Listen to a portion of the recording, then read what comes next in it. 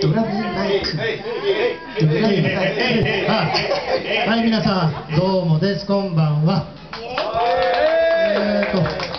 今日はですねいつもまああの我々おっさん4人はもう一人ボーカルおっさんね持ってミラクルっていうバンドで普段活動してるんですけど本日がねちょっとなんか特にスケジュールもないなと。でボーカルのおっさんもなんかいろいろねお店とかあれやこれや忙しそうな感じで。であとはねここでしたかったんですよねライブを。ずっと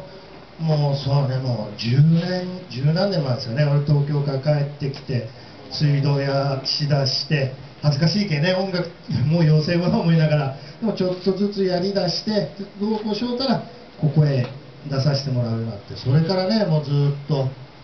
うん川口さん界隈でねやらせてもらってで、まあ、ここが川口さんから若ちゃんに引き継いでであなんか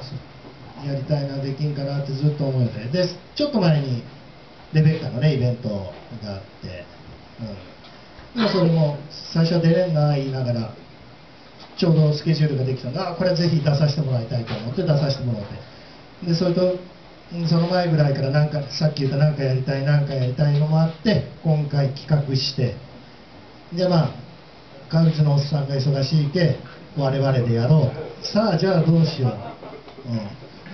うん、待ってよここでせっかくやるんだったらあ若ちゃんおるや明美さんおるやほん。じゃそれで何かやりたいなと思って。で2人がうん、まあ、過去にちょろちょろと一緒にややらせてもらったことあるんですけど何がええかなとか思いながら結構ね俺スタートがジャパメタなんですよね。出だしが。もともとは聖子ちゃんとかずっと聞いて明星平凡とか通ったんですけどね。たまたまねあのこれね今日曲数が少ないけど結構喋ってますけどね。あのまこさんねたまにはもう10年に1回ぐらい喋ろうという。でたまたまきっかけでねうちのいとこがラウドネスの LP を置いて帰ったんですよ。まあラウドネスも後期結構後半ですけどね「サンダー・イン・ジースト」っていうアルバムも置いてって。で聖子ちゃん聴きおる俺があれを聴いてなんじゃこりゃうっさいギターがギャンギャンギャンギャン来てって思いよったんだけど1回聴いて2回聴いて3回聴いてってしようたらもうどっぷり。ですね。でもラウドネスとか当時アッシェイカーですね。マーシーさんとか。でそんな中でってなったらやっぱり今度は男がその辺が来て今度女性ボーカルって言ったら浜田真理さんですよね、うん、の曲をずっと高校の頃ですかね。もう34年35年ぐらい前とか結構コピーしてて。でそそれからちょっと将来やっぱ庄屋とかが出てきたんですよね。でそのままちょいちょいやったりしててでおっさんになってやる機会がなかったのでなんかその辺がちょっと自分の中でつながって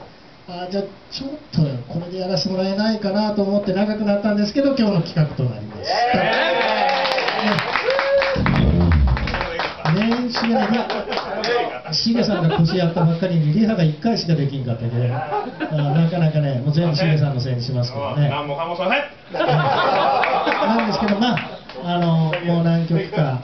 やっていきますのでぜひね懐かしんで楽しんで帰ってください。よろしくお願いします。